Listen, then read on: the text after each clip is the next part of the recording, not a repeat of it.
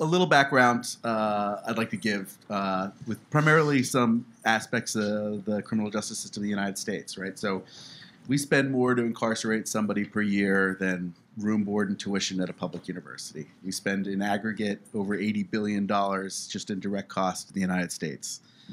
Um, those costs are dwarfed by costs to society, right? So costs like lost earnings, adverse health effects, uh, damage to the families of incarcerated. And then, you know, on top of that, we have more than 4,000 companies profiting off the prison industrial complex, right? Profiting off of things like with things like predatory pricing, uh, prison labor, um, the private prison industry, and for all of this, uh, after three years, more than half of all incarcerated individuals that are released from prison end up back inside, right? So, send a tremendous amount of money. The system clearly doesn't work very well. Um, today, we're going to talk about uh, a different way of doing business in this space, uh, one that supports innovative entrepreneurs who want to revolutionize this space and address the injustices that exist here. Uh, rather than capitalizing on perpetuating a bad system, these companies are trying to disrupt, ethically disrupt the existing criminal legal system with solutions that either scale good policy or disrupt bad policy. And so I'm going to jump right in, introduce the panel, and get into some good discussions here. So, first we have Ronald Lenz. Uh, Ronald's the program director of the Justice Accelerator at the Hague Institute for Innovation of Law. He manages uh, uh, startup and support programs across West Africa, East Africa, and the MENA region that have supported more than 170 startups uh, that prevent and resolve justice issues. Next, uh, Noella Sudbury. Noella is the CEO and founder of Rasa Legal. Rasa is on a mission to make expungement as affordable and accessible as possible. Rasa uses technology to streamline the expungement process and provides low cost legal services for individuals looking to unlock a better future. Noel is also a licensed uh, a lawyer in Utah and has over a decade of criminal law, policy, and data driven justice reform experience. Next, Jelani Anglin. Uh, he's the CEO and co founder of Good Call Technologies. Uh, their mission is to dismantle the system of mass incarceration uh, by creating better access to legal support. Uh, by nature, Jelani is a community organizer and a serial entrepreneur. And while organizing in low income communities across the East Coast, Jelani experienced firsthand some of the pitfalls existing, that exist for those oppressed by the existing system and Eunice Olopade. Uh, Eunice currently leads the team at Sidebrief, where she is enabling the rise of entrepreneurs in emerging markets. She's a visionary social entrepreneur and an advocate for justice, innovation, and technology. She has a deep passion for creating positive societal impact, and Eunice has been at the forefront of leveraging technology to address systemic challenges, disrupting the status quo, and pave the way for a more just and equitable society. So if everyone could give this awesome panel a hand really.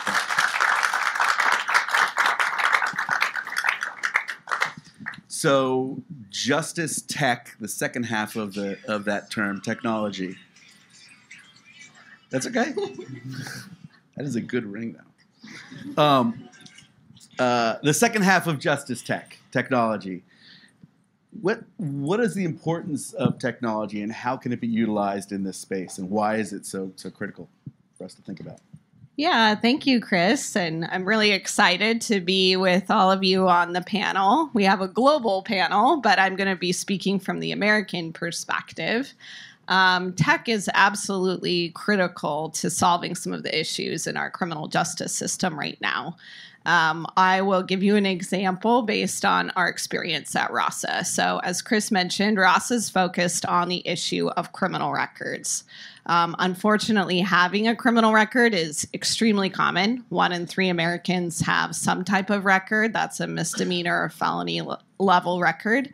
Um, and that represents 70 to 100 million Americans even old and minor records can prevent somebody from getting a job, from getting housing, um, from going back to school, from volunteering in their child's school. Just the number of barriers a person with a record has is unreal. Um, unfortunately, criminal records are digital, they're permanent. Um, the government is the opposite of tech enabled. Um, and it's really, really difficult for someone with a criminal record to get it cleared. Uh, most people find that they need a lawyer to help them through the process. Most people will never be able to afford the two to five thousand, sometimes more, that lawyers will charge for this service. And so, what we're trying to do at RASA um, is make that process simple, make it user friendly, make it affordable, make it accessible to people. Um, and technology is really, really key to this. Um, and to give you a sense of just how it can change the scale um, and what the outcomes can be of using technology. Uh, I live in the state of Utah. Our statewide legal aid organization um, can serve 400 people uh, with criminal records every year. A drop in the bucket when you consider that in the state of Utah, there's over 800,000 people with records. Um, at RASA, we have built technology uh, to make it simple for somebody to determine if they're eligible. Um, in under three minutes, somebody can come to our website, type in their name and date of birth, um, and determine whether they're eligible for expungement now or in the future. Very, very easy to do. Our software is powered by court records themselves um, which was an ask by justice impacted people. A lot of people said, I don't remember what's on my record. I don't know how to get my records. Don't ask me how many misdemeanors or felonies that I have. I don't remember. I don't know how to get that information. It's just really easy to give up. So we launched our software um, about a year ago. In our first year, we've been able to serve over 10,000 people. And so to go from 400 to 10,000 thank you, is a really incredible thing. And it's not possible without tech. That's right. Yeah. And, and we see technology allowing that kind of scale all over the place. Anybody else have any interesting? Yes, I mean, I think technology generally, there's a lot of processes, um, justice processes that is riddled by bureaucracy, right? So justice processes in general are riddled by paperwork, bureaucracy, and technology just helps make that better. It makes it faster, easier, it makes it more accessible and user friendly, really, on a broad level. Yeah, and it, it, I mean, it's quite surprising how, as you said, the, the government can be the opposite of tech enabled in a lot of places, and particularly around the justice system. Um, it's fascinating. Um, Jelani, let me let me ask you a question. So, um, when investors are looking to make investments in the justice tech space, what should they be looking for in founders, and what kind of characteristics should we be aware of that are typical of, not typical of, but are common in uh, in the justice tech space?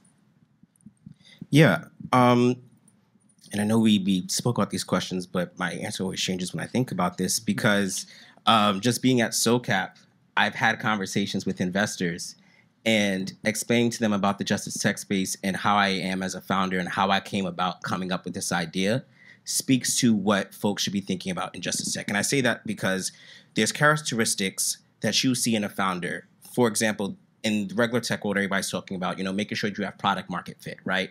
Making sure that you have that. In the justice tech space, I think about what does it mean to build for communities that are affected? And product market fit, going a step further, we have the actual communities that are affected helping us build the product. They're involved with building their product. They're integrated. We're serving that demographic because they're actually the ones that are helping build this. Um, another thing is also thinking about whether folks are able to understand the problem with a passion. Um, a problem is something that you want to solve, but having the passion to actually solve the problem is very difficult to maintain. Um, when you're going through fundraising meetings, when you're saying that there's some legislation that changes how you're going to work, all of these things really can change um, how you operate a business. But if you have the passion to keep going, that's something that really matters. Um, another th- another characteristic that I'll say that's unique to the justice tech space is um, you got to be able to fight, and that's not the New York in me. and I'm, I'm going to be real. The reason why I say that is because the criminal legal system uh, was built like this. It was built not to serve people of color. It was built to oppress people. And now we're trying to create companies that is disrupting that. Do you really think that this system is going to allow that? There's laws that are created, there's legislators that that are working to obfuscate that whole plan. And if you're creating a tech product to actually disrupt this system, you have to be willing to fight. You have to be able to pivot. If there's some type of new legislation that affects how your business operates, or there's some type of red tape that you're dealing with that uh, hinders your expansion, how are you as a founder going to handle that? And I'll say, as my journey, um, in my journey, I've realized this a lot. Uh, what we do is we we run an emergency arrest support hotline, connecting folks to legal support. Now imagine if you're able to pick up a phone and just like you're able to dial 911, imagine being able to contact a lawyer. That would be huge. One of the reasons why folks are brought through this system is because only 1% of individuals have access to a lawyer at that point of arrest. So what we see is many folks are coerced into signing statements under duress. They end up losing their freedom because they did not know what to do at that point in time. And the system is designed that way. Affluent people can afford a lawyer, but it's not the same for individuals that don't have the resources. And because the system is set up and designed that way, we had to figure out how do we build technology that even when the system is even when the system is working against our communities, our communities are still able to stand up and fight. So that also means that pairing technology with this passion, pairing technology with stakeholders that also know how to fight and know how to do this work is important. So um, yeah, definitely those characteristics. And I think one last characteristic that uh, is important is empathy. Mm. Um, I was arrested at 16 years old for a minor infraction. Um, I've also struggled with mental health resources, um, mental health uh, issues through the years, and I've realized that these services that weren't around to help me also was the reason why I ended up in the system in the first place at times. And there's so many people that are going through the system, and it's their worst day. How are you going to be able to create some type of technology that's serving this person in that time and afterwards when they went through one of the worst moments of their life. The justice system scars folks. So, being a founder, you have to be empathetic to those things and being able to create a product that feels empathetic to one's feelings and experiences. Yeah. That's great. That's great. Um, I, I, will sort of pile on your the system is working exactly as it's designed uh, comment sort of some evidence that I was looking at recently was the uh, the incarceration rates in this country are more highly correlated to poverty rates than they are to crime rates. Right? So the states with the highest crime rates aren't the states with the highest incarceration rates. It's the states with the highest poverty rates that are. Right? It's more examples of how the system is working as designed, right? So this is a small uh, space, the justice tech space still. We've got lots of interesting companies coming up in there, but Ronald, what what needs to happen to make this mainstream to attract more innovative entrepreneurs like Jelani and Noella, to, to attract more mission-driven investors to come in? Um, yeah, I mean, it's a key question. Uh, maybe I, it's also good to know I bring in more of a non-U.S. perspective yes. from yes. Holland. We work with governments in different African countries and in the Middle East to run big access to justice programs. And part of what we do is we work with the Justice uh, Justice Tech uh, um, uh, entrepreneurship communities in those countries. And we run accelerators. We also set up an, uh, a small impact investment fund for this. I think maybe let's start with sort of understanding. I think with Justice Tech, we're at the stage where maybe climate tech was 10, 15 years ago. Very early stage. Um, so we're kind of in a demonstration phase. We need to demonstrate the actual potential of Justice Tech, I think to not just investors, but I would say to policymakers, to justice practitioners, and I would say to the entrepreneurship community itself. Um, so as we're building the ecosystem, there's a uh, there's four aspects I think are interesting to consider. Um, one is we need really good data, really good justice data, so we really understand what are the biggest problems and what are the actual details of those problems. Um, and we need to know what works well, not just what doesn't work. Right. What are best practices in the justice sector that work well, so you can build on top of them, and also share these resources. Um, second is we need to make sure innovations actually scale. Means we need great incubators, accelerators, innovation prizes, like we saw yesterday with Dream.org. Um, so there's a credible pipeline of investable companies because if that is not clear for investors, um, they're a little apprehensive. In the meantime, there need to be more impact investment funds, justice tech, like yours. Um, um, but they, I think they need to focus on the um, early stage, right? Just before um, they are ready enough to run a Series A. Uh, that missing middle part, which means catalytic capital. I mean, this morning there was really a great uh, panel already on the importance of venture philanthropy to, to get into that space. Um, enabling environment, you really need to make sure there's policies and regulations in place that not just support new justice tech innovations, but blocking them. Um, because uh, not just entrepreneurs will not go into the space, but also investors will be like, red flag, not getting in here.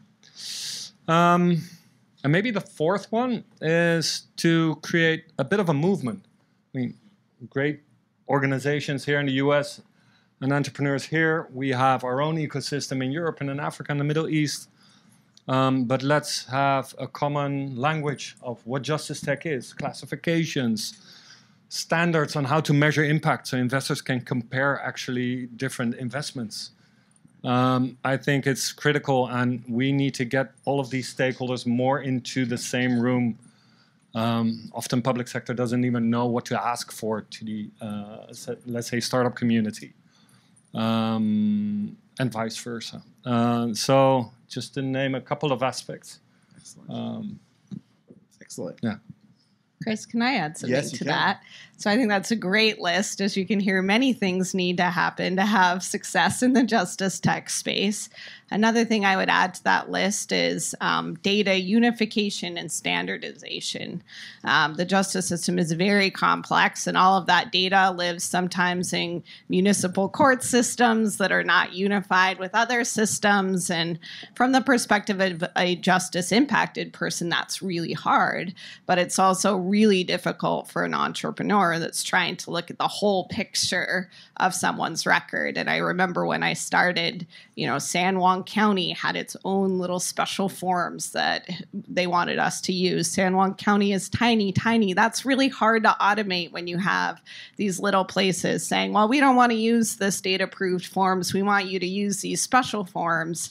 And when you're trying to build a technology solution, that creates a lot of challenges because it's just a lot of different forms that then you're going to have to build document automation for. That's expensive, it's time consuming, and it doesn't work. So we also need to update the government. People need to approach these issues in a unified way across states. Um, the Filing Fairness Project at Stanford, I think, is a great example. Um, the work they're doing there is six states are actually now in conversations about this very issue. Can we agree to collect data the same way for all of these different actions, eviction or um, criminal record expungement? Can we agree on the same forms? And if we can start to think about these problems as going across state lines and agree upon forms, data collection standards, unification practices um, that that lay that groundwork for scalable solutions, um, I would like to see more conversation about that. You you're about to add something to that too. Oh no, I think they pretty much um, covered it. I think one out I would just like to emphasize on this point around, I mean, incubators, accelerators, um, they're different um, fields. There's fintech, there's now climate tech, and they're like accelerators and incubators that are designed for entrepreneurs like that. Um, so if we see more of that um, in the justice space, right, it would encourage entrepreneurs to do a lot more and um, yeah, impact society. Yeah, I think that's a that's a really key piece. Yeah. I wanted to piggyback off of that as well. I Yeah. think it's also creating space. One of the things that isn't given, since this is such a new space, um, we have to have time and space to actually prove some of these uh, hypotheses that we have. Um, I feel like not understanding that there's impact tied to this space. It's not just about financial returns. It's about proving that you're making an impact, and that takes time. That also takes money. That makes uh, in top on top of an investment, finding a research partner to work with to make sure they can prove out the outcomes of this is important. So I think that when we're talking about funding all the all of these uh, justice tech initiatives, it also has to look like um, a collaborative approach with not just the the the funder, but a research partner, maybe a philanthropic partner, and also the local government to actually get in there and roll up their sleeves. A collaborative approach will actually be something that will be fruitful in the long run. Exactly.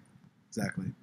Can I maybe add one thing Yeah, to of this? course. Um, wouldn't it be great if also there was uh, an explicit shared ambition, right? For instance, let's um, decrease rearrest by 50% in three years in the city of San Francisco. And have that as a joint ambition, and it makes it really clear then how what government does, what private sector does, what civil society does, but it all contributes to the same um, goal. And I think that type of mission thinking is really something that would be great if cities would adopt. Eunice, we, uh, I, you know, I, I'm always spouting off different statistics that I've learned over the years on on what's happening in the United States, um, and this is a this is a global uh, issue that we're talking about. Um, uh, what what are some of the issues that in developing countries that have in common with problems that exist in the U.S. and what are some unique challenges that, that are faced? Right. So um, when we talk about justice problem, I mean, in the United States, there's a tendency to go around the mass incarceration, decarceration um, subject line, but more in emerging markets and developing countries, it's more from an access point of view. So, do we have access to justice, right? Um, speedy trials is there, and some of these can border along um, socioeconomic ties, political ties, and all of that, right? These are also issues that are interwoven with justice issues. So, um, the solutions also are a bit different, just because the definition of justice, rights is very diverse, rights, Economic justice, right? Social justice, right? Um, it can range, and the solutions in this area can range from, you know, legal aid support from platforms that allows you to connect to lawyers, right? Um, case management softwares. It really depends, um, depending on the country, right, or the markets you're really looking at. Although there's similarities, I mean, across board, but there are also, I mean, nuances in each of these jurisdictions, right? So it really depends, right? There's no one size fits all, but I mean, justice problems are just varying. And I mean, to Ronald's point, or someone was talking about standardization of what it means across board. That is also, I think, really important. Yeah. Well, do you see other other items in this, or add anything to that context? Um, yeah, I think I'm also going to circle back to the data because if you, you really understand well what the justice problems are in, in a country, then that's your your evidence where you basically organize your innovation uh, support. Right. and that can be can be very different in different countries. Like in northern African countries, it's a, it's around employment li- justice, unfair dismissal, um, uh, no benefits, uh, harassment. It's the biggest issue, and but that's different when you're in Kenya or in Nigeria. It seems that we expect schools to do what families don't do and prisons to do what schools don't do. How can we use tech to support uh, parenting so people don't end up in the justice system to begin with? It's a great question. So, what are some what are some resources that we could provide on the parenting end that are that are uh, So I. I think this question is, and I want to be careful about how we're speaking about our justice system, right? Because we just said that this system is built to work against a certain group of people. We cannot attribute the fact that there are one in three black males that will be incarcerated in their lifetime because there's over policing communities uh, that are uh, communities of color, and the data shows that to just being a parenting issue um, there's multiple spaces where folks are not people of color um, and they're given a second chance or a different opportunity. And the question is not how can we fix the household? Um, I think that this is, uh, and I'm, I no offense to whoever asked this question, but I think it's somewhat dismissive to understand that there is a whole system in a complex that's working against a group of people and still saying, well, what can you do in your home about it?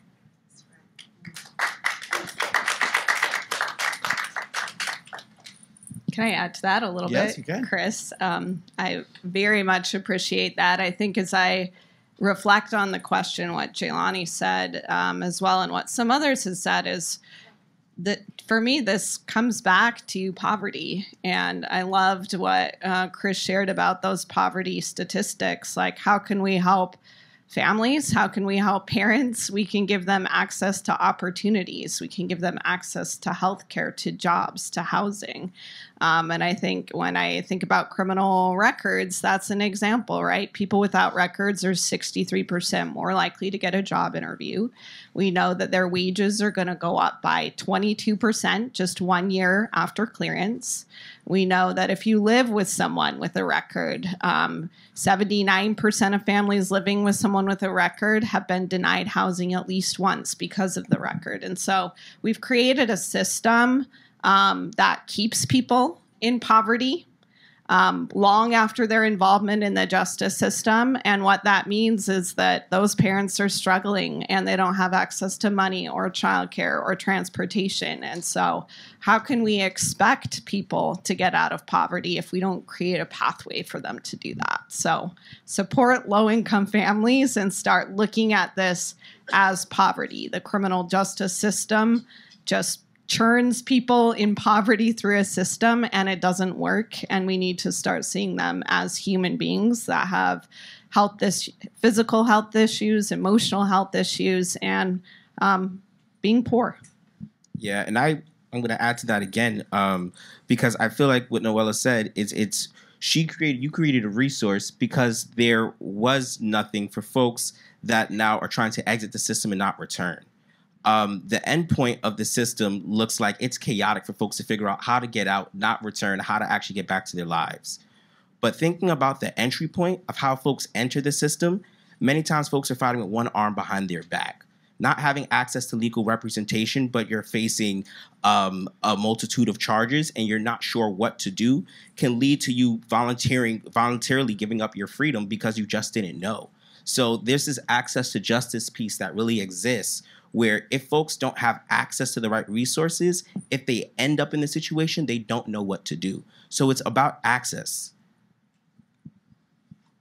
That's great. Yeah, maybe uh, just to add on the level of prevention. Um, in the country we work in, I mean, we see the data says less than 5% of people actually get a lawyer. Right. Uh, most of them uh, ask a family member, uh, try to help themselves out.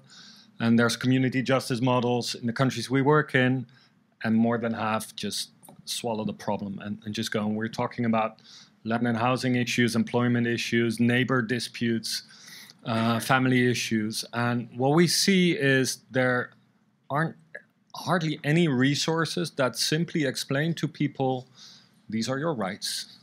Um, and from an outcomes based point of view, um, just this is your problem. What do you? Where do you want to go? Uh, how can you take matters into your own hands? Maybe uh, start mediation with that neighbor yourself, and all of the different things you can do to actually prevent from, from this from escalating to get into uh, into a court because courts are filled up anyway. A typical backlog across Africa and the Middle East is six years. Right. Um, so, um, so maybe also that perspective. Uh, this, question is is very near and dear to my heart, so I'll read this one. Um, and I want to very quickly uh, uh, clarify uh, how I would how I would um, define justice tech companies. And so this question says: Justice tech companies also include projects that expand the size and scope and reach of the criminal legal system. Electronic monitoring technologies have been advertised as an innovation to release people from detention and incarceration in the past decade has demonstrated that there are technologies that expand the carceral net beyond prisons and jails into people's ha- homes and, and increase the likelihood of rearrest. Uh, these tech fixes often fail to reduce the size and scope of the minimal of the criminal legal system, creating new forms of incarceration, surveillance, and oppression. So uh, I agree that with the second half of that, the only thing I completely disagree with is I don't think that those are justice tech companies, right? They're not advancing justice tech in that form, right? In, in my opinion.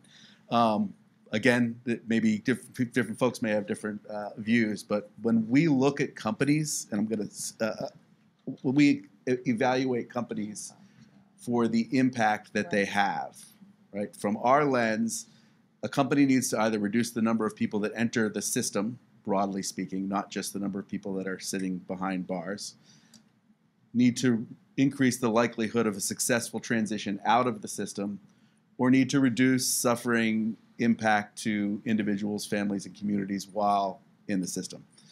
Um, we spend a lot of time thinking about unintended consequences because very often, very well meaning companies come up with solutions that on the surface look like they are a better outcome, right? But then you have examples of electronic monitoring companies charging the individuals $300 a month for the benefit of getting to wear a big monitor around their ankle, right? So um, uh, I think a lot of attention needs to be focused on what are the potential for unintended consequences of this business model and what are the full ramifications. But I'd love some other other other feedback from the group. I agree with everything that you said. Um, I think this also emphasizes the importance of focusing on whatever solution you are, your users and what they need. And our criminal justice system as a whole is not designed to do that. Um, I came to this work as a public defender, and I will never forget an exchange that I once saw between a probation officer and um, someone that was there to be in court. And, and the probation officer was pointing at the person saying, You have to check in with me every two weeks, and you have to drug test, and you have to do all these things. And I was looking at the person, and it's a gentleman, and he was just kind of like looking around everywhere, clearly not paying attention to anything going on. And finally, the probation officer said, Did you hear me? Did you hear me? And the guy said, um, Well, I've got a question. I'm legally blind and I need a pair of eyeglasses because I'm unable to see. And I was really, really looking, I, I was so curious like, how is this probation officer going to respond? And his response was probation officers don't help people find eyeglasses. And I think that is just like such an example of what our criminal justice system is, right? And applies broadly to the justice tech solutions out there. Like, have you asked people in the justice system what they need? Have you asked whether the products that you've designed are going to work for them, are going to be helpful? Have you asked them what unintended consequences you might be creating with your solution? And if you're not close to the problem, if you're not getting that constant cycle of feedback, then you're likely to design something that isn't going to work. Um, and it's just a really, really important thing to keep in mind and goes back to what Jelani was saying about um, either having lived experience yourself or being committed to going back to that community that you're trying to serve, um, because those are the people that you're building your product for. We, we need a cultural change because when investors are so tied to quantitative outcomes as proof that ideas work, they become part of the problem. At Creative Acts, we use VR as a reentry tool in solid in solitary confinement. Prison is set up to obfuscate everything to the outside uh, from the outside world, ensuring that we can't see much quantitative data. And so, I think, um, and, and and jump in if I'm not adding to this too, but it is the the issue of oftentimes we don't have the data that we need to prove that something is going to work, right? And so do we need to make sure that we take some risk uh, capital in some impact risk, right? So, in in my mind, there's the unintended consequence consequences risk. That's scary. I don't want to. I don't want to create invest in a solution that's going to create a bad outcome, right? But if a solution that works could be incredible, but we just don't know yet whether or not it works because we don't have the data. But those are the kinds of risks we absolutely need to take, right? And that's what that's what risk uh, reward stuff is all about. I know you guys can. I'm sure you guys can provide feedback on that, Jelani. I know you can. so it's it's investors definitely do become part of the problem um, when you're not willing to take risk, and especially in this space. Um, in other spaces, I've heard stories where folks have raised millions of dollars and have blown through millions of dollars testing if whether the idea was really an idea. They didn't have the product market fit. the app to take out your trash. Um, and I'm giving an example. Um, and and it's like this is something where you're willing to spend millions of dollars on, but I'm telling you that we need, you know, to close our 1.5 million dollar round because we have um, we have product market fit. We have states that are um, asking for this technology, but we're not sure of whether the investment should be made. Is one of the things that's hindering people being served, right? And it's it's almost offensive to think that you know it's it's it feels like we don't trust the entrepreneur. We don't trust that you can make this impact. Um, and we don't trust that you can give us the financial return. So it makes you wonder: Are you really an impact investor? Because the impact is one thing, the money is another. Which one are you tied to more?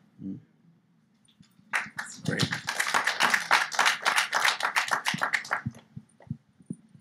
I would say there's also not uh, a thing like one in type of investor. There's different types of investors that come in at different stages. So I think, rightfully so, we need to be able to experiment a lot more, improve a lot more, because this is a new space. So, I mean, that's why we need more catalytic capital and more grants, not just investments, right? Right. Um, Right. to make this happen. this is a this is a space where um, where I, think of three points on the triangle here. There's nonprofit a- advocacy work, philanthropic work, r- a lot of really important reform work, and a lot of real understanding of of what does and doesn't have create positive outcomes. There's the policy side of things, right, which is so impactful. And some people will say, like, well, isn't this all just a policy issue? If we just had better policy, wouldn't this all go away? But the the the the, the Gordian knot of policy in um, the legal system is crazy. It changes from location to location, not just state to state, but from county to county. Right? It's incredibly complex, and so understanding policy trends, what's working and what's not working, what's happening in a positive direction in some places and a negative direction in other. And then lastly, there's innovation, which often needs another type of capital to scale, you know, tech-enabled innovation. But it's not one or the other. It's not. Uh, I, I don't. You know, when people come in and say like, "Oh, the market will solve all the problems," or "Oh, this is a philanthropic issue," or "Oh, this is a policy issue," none of that is true. It really requires all three of those things working in connection with another. And I and I and I have yet to see a successful transition or change, you know, real disruptive change in society that doesn't require all three of those things.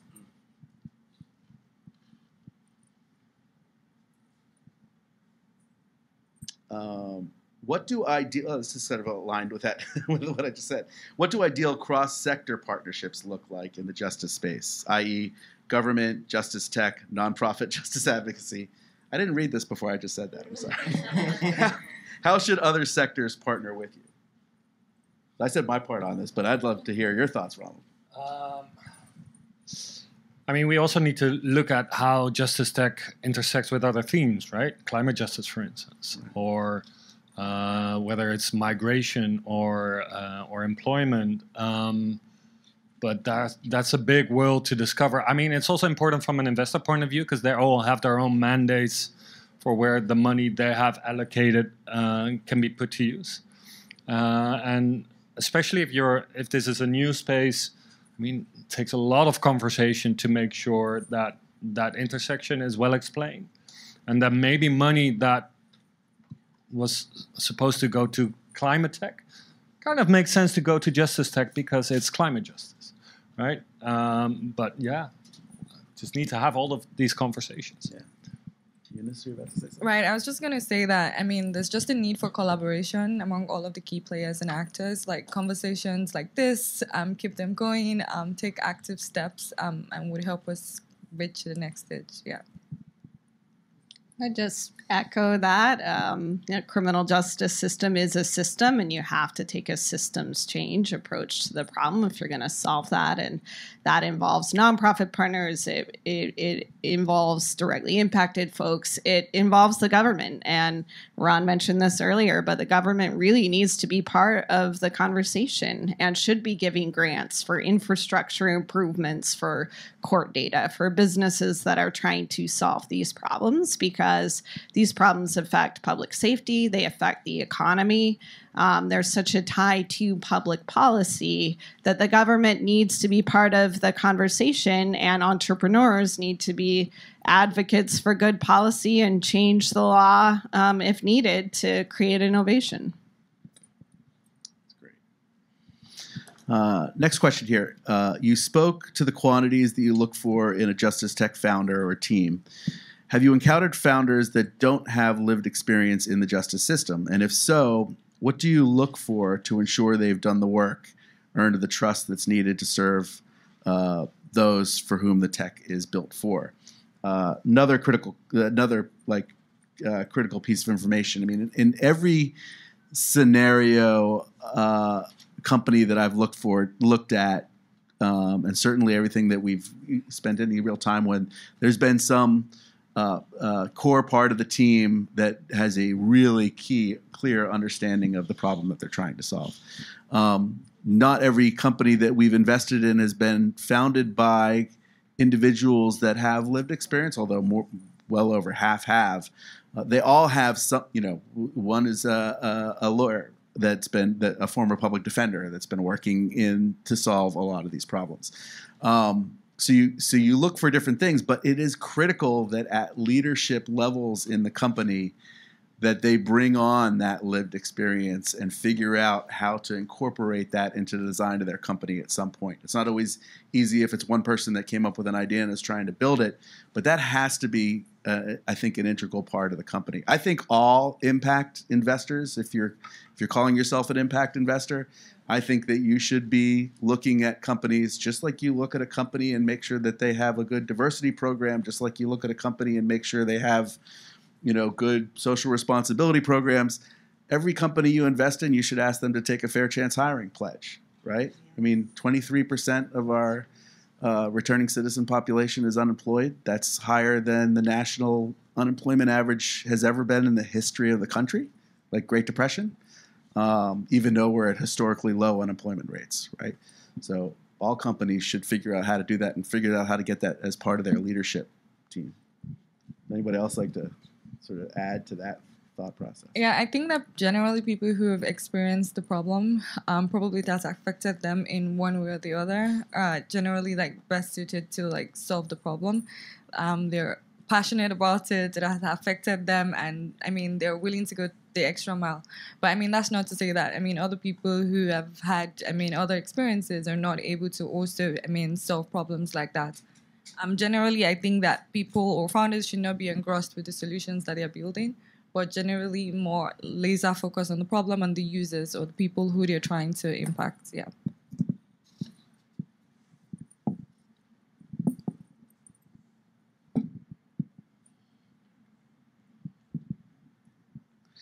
Okay, how can Justice Tech entrepreneurs think about strategies for uh, for lobbying to change what laws are what laws at different levels of government.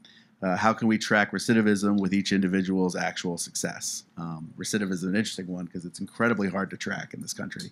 Um, uh, but but what can companies do? So this is sort of that um, that triangle that I was talking about. What can companies do to help advocate for for better policy to help them scale the change that they're trying to make? I mean, literally uh, share how this impacts your business, right? And because um, maybe the starting point is that you have a, a, common objective, right? And it, but governments don't uh, most of the time don't know how policies are impacting private sector. So uh, just making this uh, crystal clear and then also have a neutral convener to get everybody into the room because that's not always that easy. So at a good call, we uh, we actually took an approach where we're a tech hybrid. We have Good Call Technologies, which is our for-profit, which sells the technology to different municipalities and cities, and then we have GoodCall.org, which partners with philanthropic entities and local government to actually research and launch philanthropic pilots in states to actually see what is the impact and then we try to put that in front of legislators to say this is why you need to actually purchase this technology for your city. I think more of a blended approach, uh, Justice uh, justice innovators can take with pulling these stakeholders in to, as we're talking about, really trying to prove out your your impact um, and being able to show the economic impact that it has to these jurisdictions. Many of these jurisdictions are old and antiquated. They don't invest um, in things that can actually reduce the spend that they have on some of these critical civic issues. So, what does it mean to actually partner with these philanthropic entities and make that a part of your mission? We made advocacy a part of our mission on the .org side so that we can actually, um, and it supports our business because if we can advocate on a national scale for early access to counsel and get more states on board, then we can sell the technology. Our investors can make their money. Look, it's it's it's a win-win, but there has to be the time that's taken for folks to actually uh, invest in terms of the research and pull together the stakeholders that are willing to do the work to to, to advocate for that policy change. It takes time. I had the opportunity to work on a bill before I started RASA in Utah. It's a clean slate bill, an automatic record clearance bill. And at the time, I was working for the mayor of Salt Lake County. And this issue came to us because our statewide chamber said, Noella, we have all of these workforce uh, centers all across Utah where we're trying to help low income people find jobs. And the problem is that uh, many of them have criminal records and they can't get hired. And so, how can we work together? Um, I know you're a lawyer. I know you all at Salt Lake County are focused on criminal justice policy to solve this problem.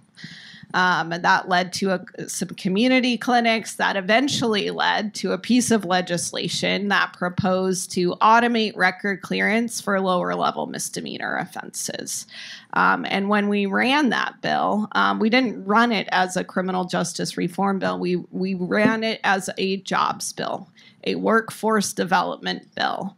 Um, and I was surprised how just sort of changing the frame and making the issue kind of like relevant to the economy, which is something that conservatives um, in Utah care deeply about, really propelled us into success. The bill did end up passing in 2019. Utah became the second state in the country to have an automatic clearance law, and that law will automatically clear without a lawyer, without a process, without anything 534,000 records across the state of Utah. Um, and that so I guess my advice would be is not only explain how it's relevant to your business, but also explain why it's relevant to everyone, how um, these issues are affecting public safety, how they're affecting their economy, how um, by promoting people's recovery and helping them uh, move forward. We're creating jobs, we're creating opportunities, we're creating a greater tax base because I think almost every justice tech solution does have an impact on societal issues and you know just make the case and use it as an opportunity to not only run a good business but also change laws um, that can bring access to people and and this is sort of related uh, as well, but I think it adds it adds to the discussion. So how do you balance your time and efforts and energy on justice tech versus advocacy for policy change that may warrant justice tech unnecessary? Example, do you spend time advocating for standardization of data in criminal records or legislation that makes it illegal for employers to consider a criminal record in the hiring system, right? So do you solve the problem or do you try and come up with a better uh, you know solution around the problem that exists if you can't solve it and at times it feels like justice tech is just a band-aid which i, I also see that that uh, point of view as well right so you do need to look again at all you know, i'll sort of go back to my uh, i go back to my the market doesn't solve all the problems. Policy can't solve all the problems. Philanthropy can't solve all the problems. There's an appropriate time to use all of these things, right?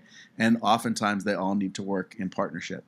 Um, I do think that there are really important solutions.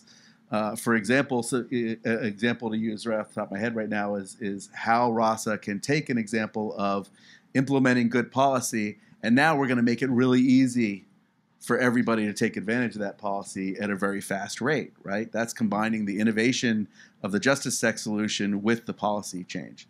In terms of, of, of time and effort spent on those things, um, uh, you know, I end up, because of what my role is, I end up obviously spending most of my time on the justice tech side, but needing to have a cohort of nonprofit organizations that I work with and I go to for advice around ad, around efficacy of solutions and feedback. Um, and then secondly, work with a number of, of organizations that do a lot of policy advocacy work, uh, like Dream.org, um, which has done a lot of great work in that space as well. The, the other thoughts on sort of how you balance your time there? I mean, I think you guys have already answered this a little bit in different ways. Yeah, I mean, you don't have time to do everything. It's very, very busy being a founder, but I think partnerships are so, so important and coalition building as well. I think every Justice Tech founder should be figuring out what nonprofits are in this space. Like, um, what advocacy organizations are in the space. And every year in legislative cycles, we'll get together with this coalition of people working towards a common goal and figure out what I do have time to do, where I can play a role, or where somebody else might be able to step in. Um, and it's going to take that type of approach uh, to make change.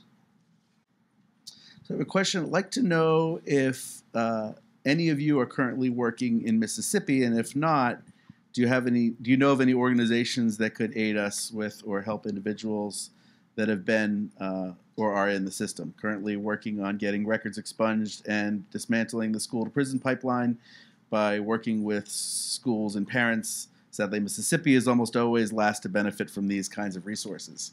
Um, when i was doing the uh, research on the the 10, city, 10 states with the highest poverty rate and the 10 states with the highest incarceration rate and not on the top 10 states with the highest crime rate, but Mississippi was on the first two. So, perfect example, right? Um, anybody have any experience uh, directly working? I've uh, never done work in Mississippi. I would love to do work in Mississippi. Um, but I believe the Just Trust, I don't know if you've heard of them. I think that is one of their priority states. And if you haven't heard of the Just Trust, a really incredible organization. And I think there's um, a growing trend to focusing on states that typically are last on these lists and really um, putting some resources towards that. So I'm happy to connect after. I will think some more, but um, I'm pretty sure Just Trust is working there. There's more, yeah. Mississippi Coalition of Higher Education in Prison. Higher, higher education in, in prison. Okay, excellent. And I can and and I can probably do some other research around that as well. So if you want to, whoever asked the question, if you want to reach out to me later, I'll I'll see what I can help with there.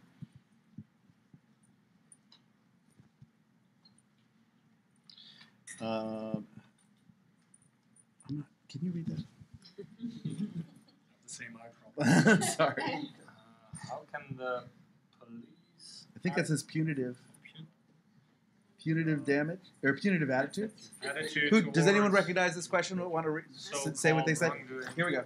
How can punitive attitudes towards so-called wrongdoers be reversed? Uh, yes. The so I think um, Boy, another one I'd love to get a diverse group of opinions here, but for me, it is really around humanity, right? It, if you keep a if you keep a group of people separated from society, it is really easy to other those people.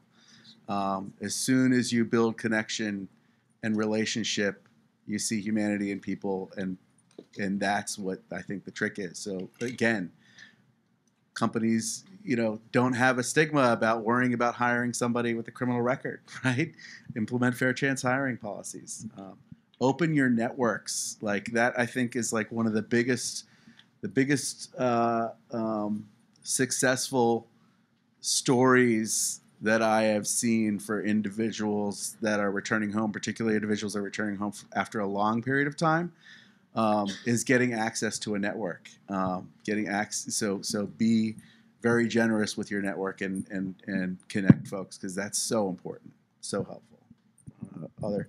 I think exposure is a big part of it. And I think about when we were working on that clean slate bill that I was mentioning, some of our early conversations with police and probation officers. The first time I said to the state police organization, I want to run an automatic clearance bill, the police officer was shaking his head and then said, "Oh hell no! Like we're not doing that." Like said, "Okay, that didn't go very well." Um, but would you be open to another conversation where I could bring some folks who have criminal records to talk about how it was a barrier? Um, and then when they were able to overcome that barrier, what they w- have gone on to do with their lives. Would you be open to that?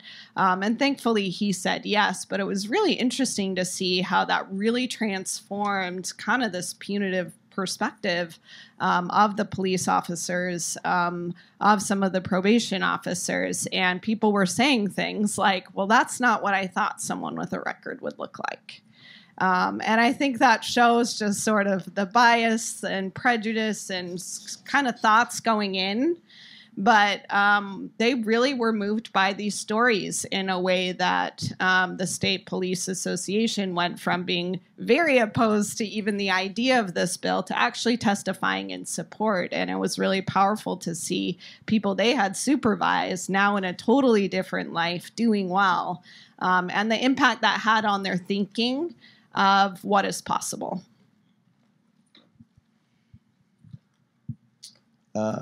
V. So we kind of talked around this a little bit more, but but I'd love to hear some other thoughts too. VC is often a default financing approach for tech companies, but that may not be the right vehicle for justice tech.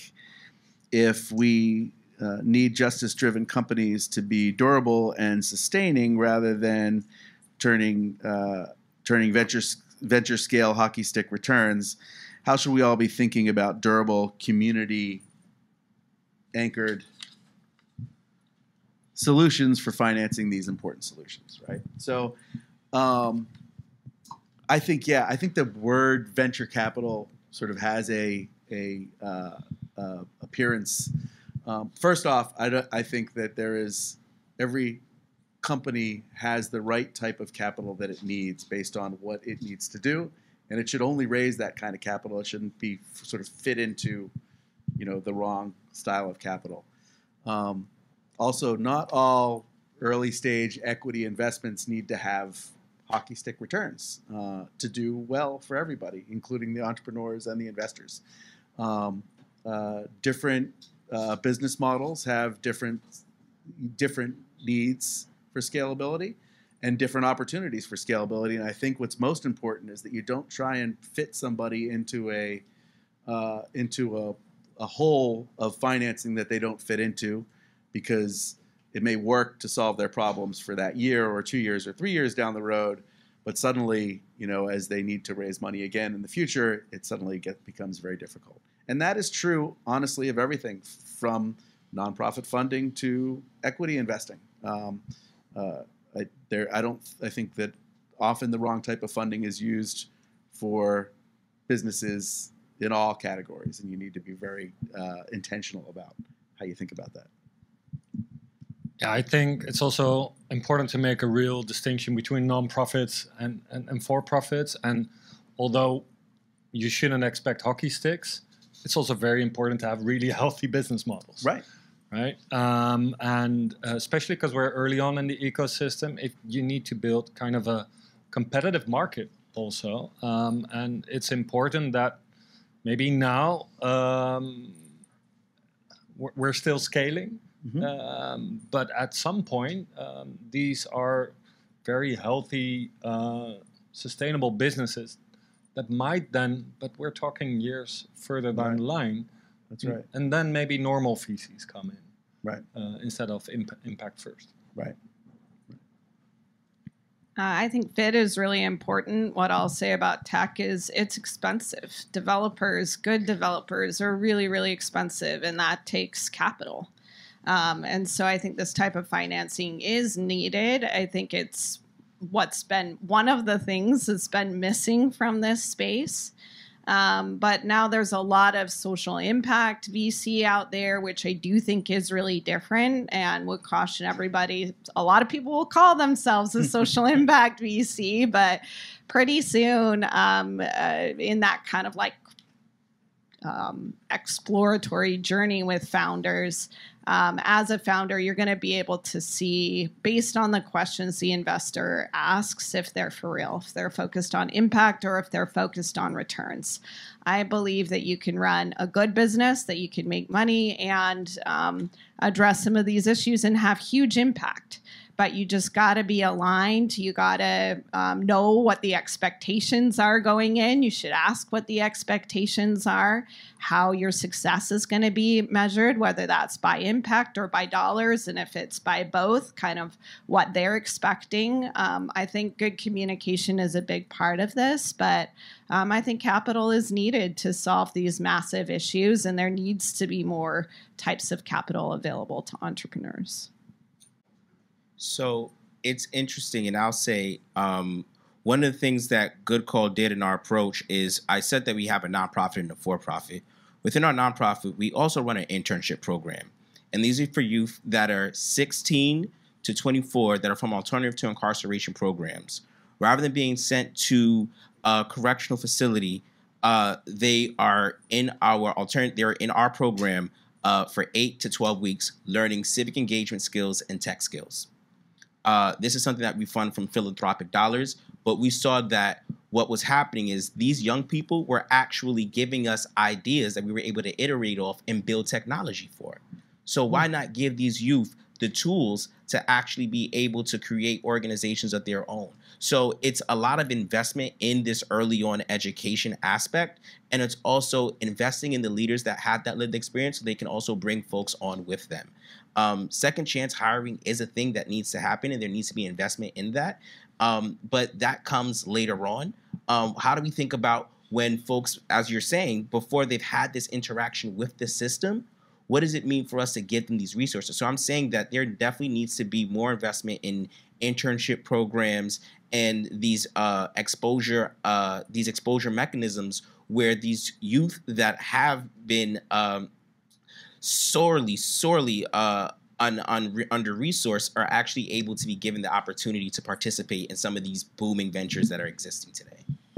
Uh, the very short version of my very long question, apologies for that, is that a lot of the justice tech solutions that are being built in the United States are sort of myopic in that they're looking specifically at the US, um, but we're really addressing global solutions. And so, how do tech startups engage with the global community from day one, or at least in, their, in the early startup phase? apart from it's also a longer conversation I'd love to. But I think um, in in our work we also see the different sort of innovations, similar innovations in different regions pop up at the same time. And there's a, a big commonality. So what we do within our scope is just to make sure our portfolio all connects. And we try to make all the data resources and best practices available for everybody, but that's still in our bubble.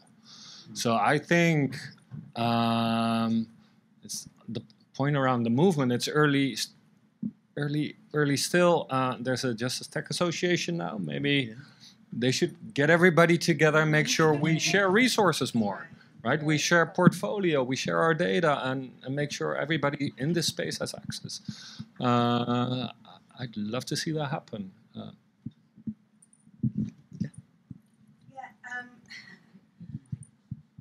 Do you want? Yeah.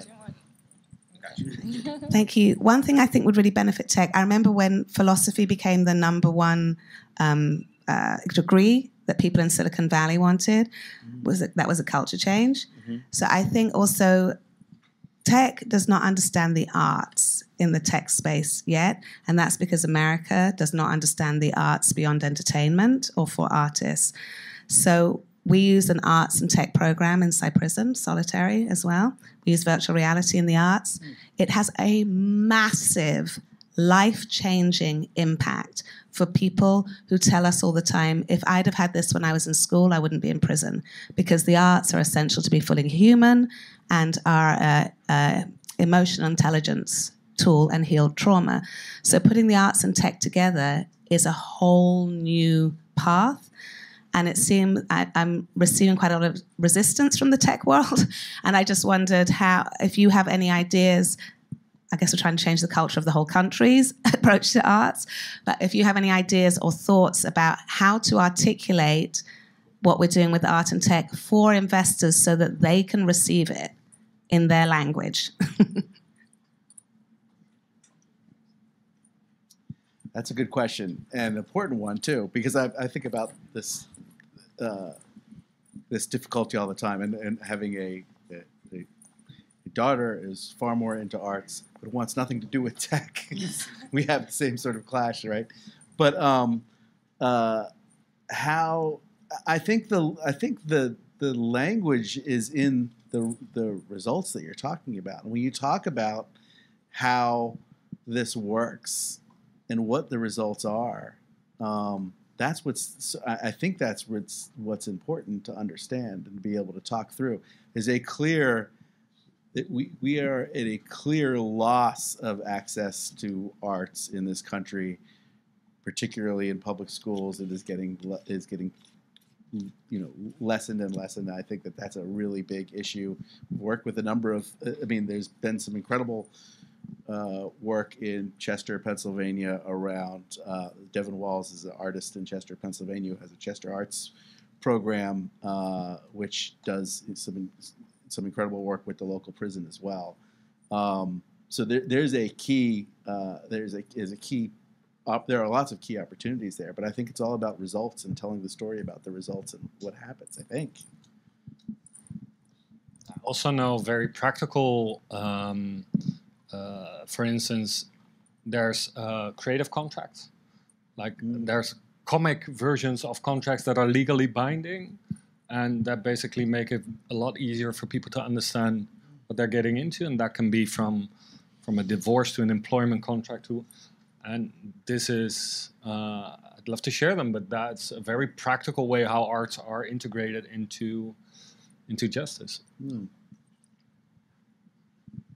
I think just a lot of education more generally. I think investors don't understand the justice system, they don't understand the arts, that um, and you have to sometimes take them on that journey with you. And I think as entrepreneurs, we should also be thinking about how to incorporate art more into what we do.